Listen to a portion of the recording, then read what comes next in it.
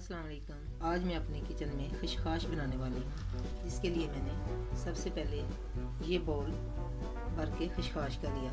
इसको मैंने भगो के रख दिया। सुबह को मैंने भगोया और शाम को मैंने इसे पीस लिया। क्योंकि जितनी ये भगोई जाएगी, जितनी देर तक ये पड़ी रहेगी पानी में, उतनी ही अच्छी जल्दी से पीस जाएगी। तो फिर मैंने इसे कुंडी में पीस लिया। आप चॉपर में भी पीस सकती हैं, कुंडी में पीस सकती हैं। या फिर अगर आपके पास सिलवट्टा है, उसके ऊपर भी। ये इतनी बारीक करनी है, ये देखो कि इसका दाना ना नज़र आए। ये दूध की तरह हो। जाए ये हो गया तो मैंने इस साइज़ के तीन प्याज लिए उनको अच्छे से काट लिया आमलेट की तरह। एक टमाटर लिया, इसको भी मैंने छोटा छोटा चॉप कर लिया। थालों में मैंने लिया दो चम्मच सुरख मिर्च। डेढ़ चम्मच पिसा हुआ धनिया, आधा चम्मच हल्दी, एक चम्मच नमक। तो देखिए, ये मैंने बर्तन के अंदर ऑयल डाल के रखा हुआ था। जैसे ही वो गर्म हुआ तो मैंने उसके अंदर प्याज डाल दिए। प्याज को हल्का सा लाइट ब्राउन करना है। लेकिन प्याज हमारा गोल्डन ब्राउन हो चुका है। ज़्यादा नहीं करना, बस इस तरह के रखना है। तो मैंने एक चम्मच लहसुन का लिया। इसके अंदर मैंने सूखा धनिया और हल्दी डालकर इसको बारीक पीस लिया।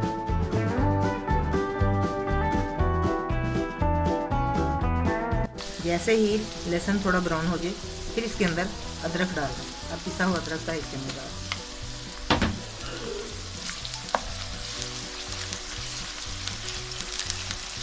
साथ ही टमाटर ऐड करने लगे।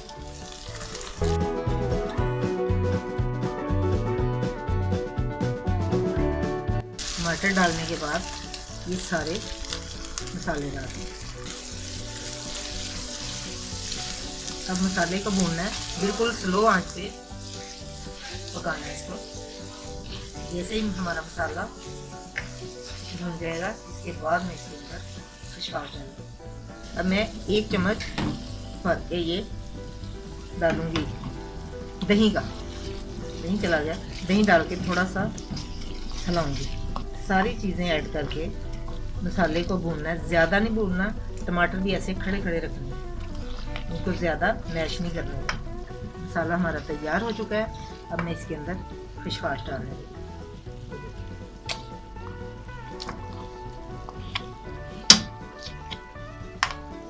सारी चली गई। इसके अंदर थोड़ा सा पानी डाल मैंने थोड़ा सा पानी ऐड कर दिया ताकि खशखाश जो है अच्छे से पक जाए। अच्छे से मिक्स करके मैं इसे कवर कर दूँगी।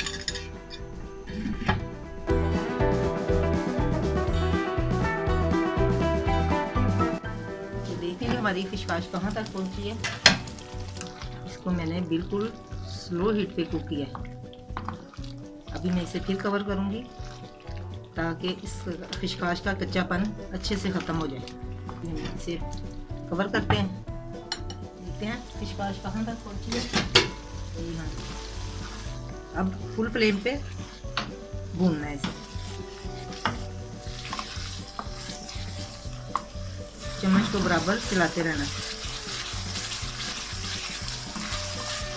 भूनते हुए एक चम्मच सूखी मेथी का डालें हाथ से मसल के नहीं डालनी, वैसे ही डालना।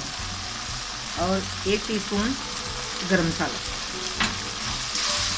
ये डाल के फिर चम्मच चलाना है और अच्छे से भूनना है। स्काश अच्छे से फ्राई हो चुकी है।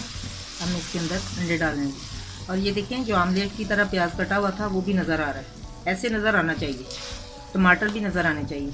मसाले को पहले इतना नहीं भूनना। तो अब मैं अंडे ऐड कर रही हूँ। ये एक अंडा लिया मैंने। इसको ऐसे ही डालना है। अंडे फिशकाश में कभी भी बीट करके नहीं डालने चाहिए। अब मैं चम्मच की मदद से ऐसे कर ऐसे फैला देना ये थोड़ी सब्ज़ मिर्ची दो तीन मैंने लेके काट ली थी, वो डाल रही हूँ।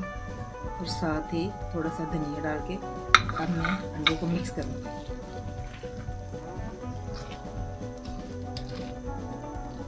ये एक आधा डंडा मैं और डाल रही हूँ। आपकी अपनी मर्ज़ी है। आप अंडे ज़्यादा भी डाल सकती हैं, कम भी डाल सकती हैं, जिस तरह आपको पसंद है। मुझे कम लगा, मैंने एक और डाल दिया। मैं इसे कवर कर दूँगी थोड़ी देर के लिए।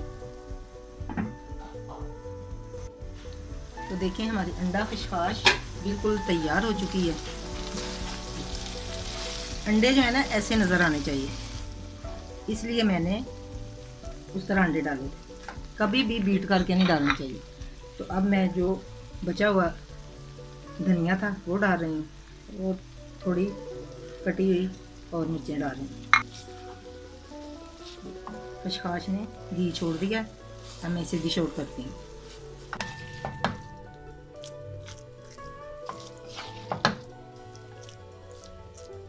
हमारी अंडा खशखाश बिल्कुल तैयार हो चुकी है। इसको पराठे के साथ खाएँ, रोटी के साथ खाएँ।